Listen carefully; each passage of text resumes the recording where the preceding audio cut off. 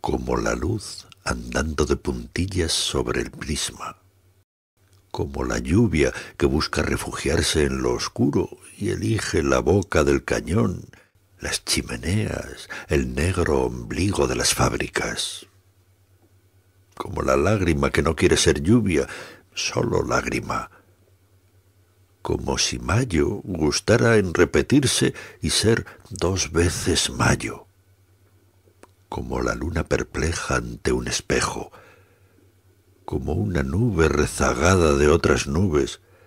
como el gesto de un sordo mudo enamorado, como un gorrión temblando en el alero,